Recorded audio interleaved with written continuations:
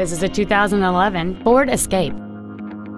It features a 3.0-liter six-cylinder engine, an automatic transmission. Plus, having just come off lease, this Ford is in like new condition. Its top features include commercial-free satellite radio, aluminum wheels, and traction control and stability control systems. The following features are also included a low tire pressure indicator, a power driver's seat, cruise control, a leather wrapped steering wheel, front and rear floor mats, a passenger side mirror mounted blind spot camera, side impact airbags, child safety seat anchors, air conditioning, and this vehicle has fewer than 38,000 miles on the odometer. Stop by today and test drive this vehicle for yourself.